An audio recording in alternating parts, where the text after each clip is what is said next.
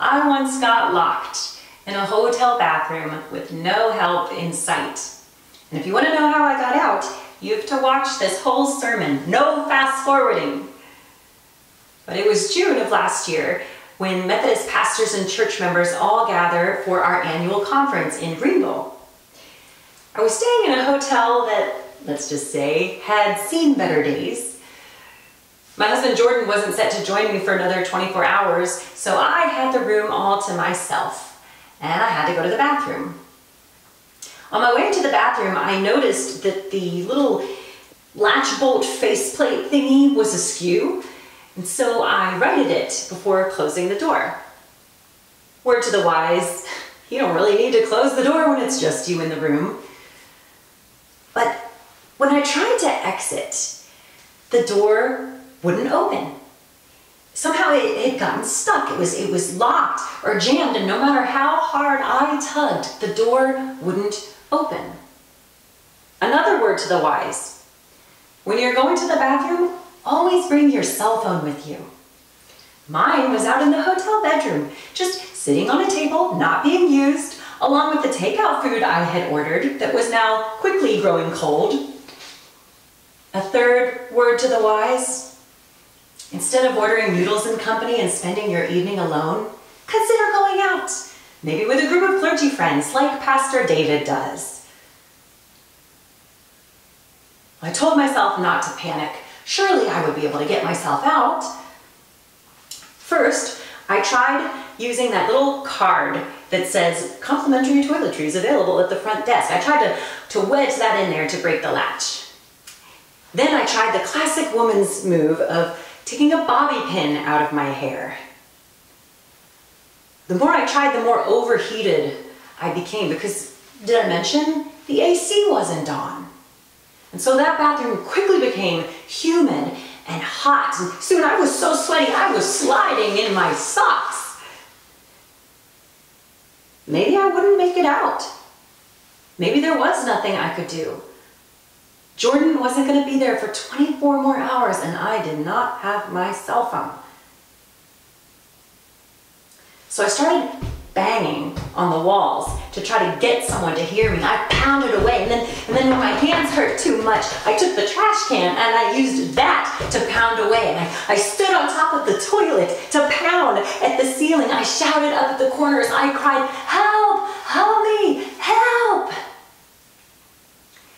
If you have ever had to say those same words as loud as you can, you know that all that does is make you panic more.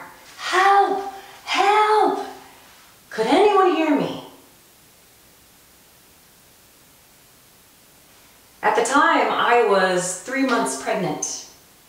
A pregnancy made all the more precious because we had lost our first one to miscarriage just prior. I did not want to lose this baby. But as my body overheated and, and my face started buzzing and the stress of the entrapment made me sob, I started to wonder if I would lose this one too. Like I could hyperventilate enough and do enough damage to myself, which only made me hyperventilate more. I couldn't calm down. I was trapped. I mean, on some level, I knew I'd be free again, but I didn't know when. We're in a sermon series we're calling Easter in Captivity as a way of honoring how we are all trapped in our homes right now, quarantined due to coronavirus. And though on some level we know we'll be free again, we don't know when. We're in this purgatory kind of state, sheltering in place, sheltering in limbo, unable to plan for the future as we wonder when we'll be free. In this week's scripture passage, we meet a man whose shelter in place was the tombs, caves and graves of dead people, of all things. That's where he was quarantined with his illness. He was held captive by an unclean spirit, trapped, chained hand and foot with heavy irons. And even when he would break free, he still wasn't really free. Night and day, the Bible says, night and day among the tombs and in the hills he would cry out and cut himself with stones night and day. Meaning, he was awake at night, crying at night, cutting himself with stones. And did he say something like, Help, help me? Could anyone hear him? Any of us who have found ourselves awake at three in the morning know there's nothing like it. I've heard from a lot of folks that that's been happening to them more lately in, the, in these uncertain days. Any of us who have been afraid in the middle of the night, crying out for help, even if only in our mind, anyone who's been there knows there's nothing like it. Stay there too long and you turn into an animal.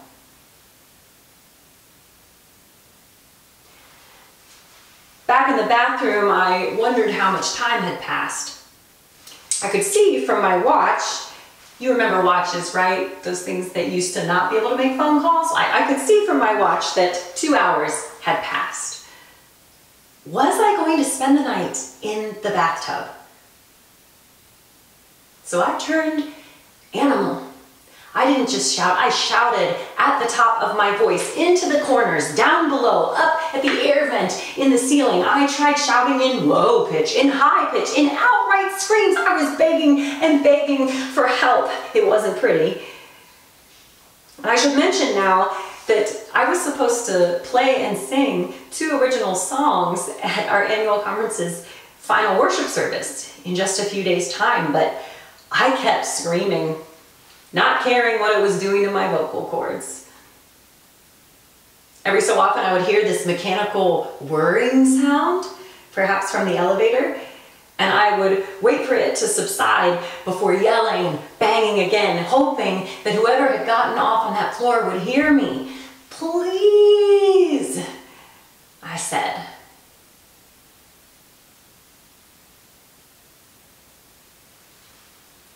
This man from the tombs he turned animal. As soon as he saw Jesus from a distance, he ran wild and bowed down before him. It wasn't pretty. He didn't just talk normally. He shouted at the top of his voice, What did you do, do with me, Jesus, Son of the Most High God? Please don't torment me. Please don't send me away. He looks powerless. He looks hopeless. He looks weak. So by the time we get to the happy ending, he overcomes all this, right? He's no longer powerless, hopeless, and weak. No, no, he's, he's dressed and sitting in his right mind. He's talking at a normal volume. His quarantine is over.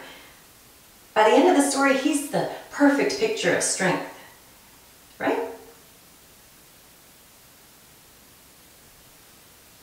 Actually, I think he's the picture of strength all along. Because real strength is running up to Jesus as fast as you can, running to him as soon as he gets out of his boat, falling at his feet. Real strength is not caring how wild you look or how unclean your spirit is, but it's just running to Jesus right then, right there. Real strength is having the courage to cry out, to howl even, and show your bruises. What I wish I could tell that man right from the beginning is that God is working something in you. Not just in the healing, but in the begging too. God is making God's presence known, not just in the story's happy ending. God is present in the in between. God is present in everything that leads up to our breaking point, present when we are at our most animal, when we are feeling our weakest, when we're afraid. Because remember, the Bible's promise is, is that the kingdom of heaven belongs not to the strong, but to the poor in spirit. Blessed aren't those who have it all together, but blessed are the poor in spirit for theirs is the kingdom of heaven. The Bible says the Lord is near not to the fearless, the confident, or the anti fragile. No, it says the Lord is near to the brokenhearted. and saves the crushed in spirit. God chose what is foolish in the world to shame the wise. God chose what is weak in the world to shame the strong. God's grace is sufficient for you, for power is made perfect in weakness. So, to the widower whose wife died three years ago, and you say you miss her more each day, not less, I want to tell you something. The Lord is near to you. And to the grad student who won't have a graduation ceremony this year and interviewed for a job and got turned down and might have to move in your, with your parents, the Lord is near to you. And to the mother of toddler twins who's watching this video at a playback speed of two, so you can squeeze it into the seven minutes of daily alone time you get, God's grace is enough for you. For power is made perfect in weakness and to the adult son who can't see his mother in her retirement community because of the lockdown and, and feels both lost and relieved because you've just been so tired. God's grace is enough for you, for power is made perfect in weakness. And what would I tell my former self, that pregnant woman trapped in the bathroom, that woman begging God, I've lost one already, don't let me lose another.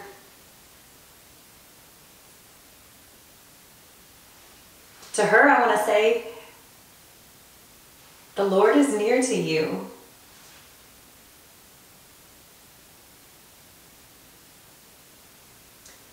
Well, I'm sure by now you're wondering how I got out. I'll spare you the many MacGyver maneuvers I tried first. You can read them all in this incident report I filled out, but I'll skip to the end. I pulled the handicap support bar off the shower wall, wielded it like a machete, and hacked my way through the door.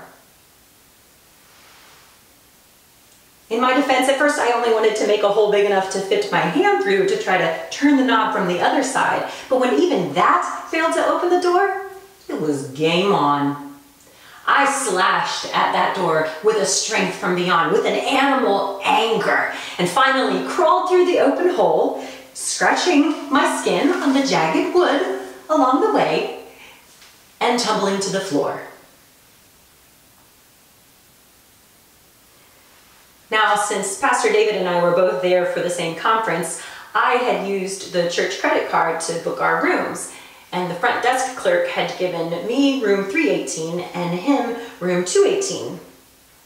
When I told him all about my ordeal after the fact, he said, You know, when I was in my room, I kept hearing this banging for like two hours. I thought it was just construction.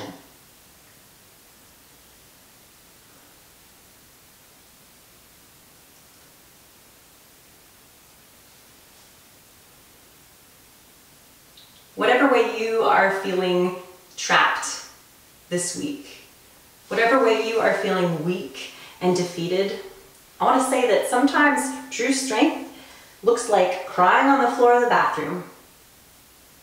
Sometimes strength looks not like busting down the door, but like begging God. Real strength looks like singing your songs in worship a few days later belting your heart out with a voice that's gone scratchy now, a voice that can't quite hit the high notes now, but still singing with all your heart. And when your friend, Pastor David, texts you later to ask, how soon are we allowed to laugh about this? Strength looks like laughter at yourself and letting others join in May we go forth in the strength of God's Spirit and always keep our cell phones on us. Amen.